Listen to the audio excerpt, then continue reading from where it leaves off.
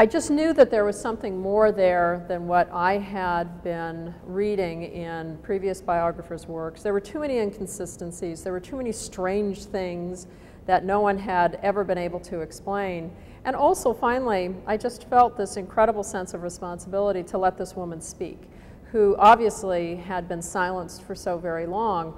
And by figuring out her story, I was able to solve the mystery of Twain's last years.